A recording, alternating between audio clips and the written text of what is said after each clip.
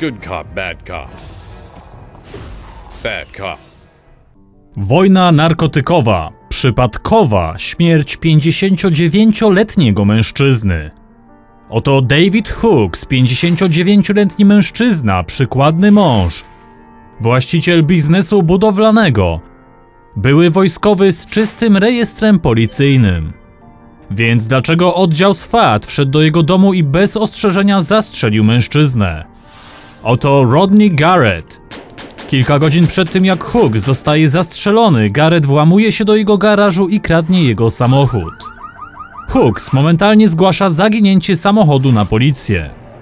Garrett, fan używek i przede wszystkim metamfetaminy, zgłasza się na policję i mówi, że znalazł narkotyki i wagę w samochodzie, który ukradł i teraz boi się o swoje życie. Wypada mu zaufać, prawda?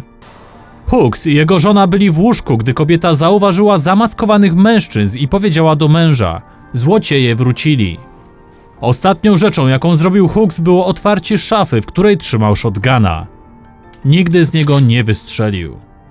David Hooks został pochowany we wtorek i jest w tym roku 34. ofiarą zabitą przez policję w narkotykowo powiązanych akcjach.